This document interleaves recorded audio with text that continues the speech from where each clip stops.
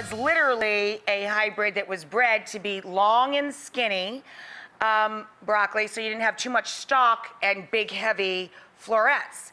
This time of the year, you know, when you get into late fall and early winter, it's actually pretty stem heavy and, and kind of kind of big. So what I do is if it's a big meaty piece of broccolini, I just take a nice sharp paring knife and I just sort of split it right down the middle. Um, you can even cut them into quarters depending on how fat that stalk gets. And there you have that nice tender broccolini that you would get much earlier in, in a grow season.